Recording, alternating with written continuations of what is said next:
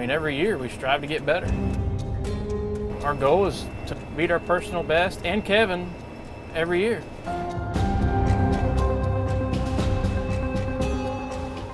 You know, if we could get it released, this could be some pretty phenomenal numbers. Right now, it looks promising.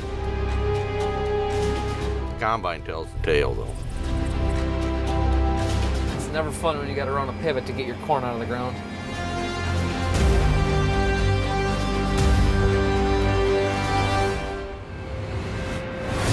Do the math on that. Yeah, I'm going to whoop everybody, but we're here to win it.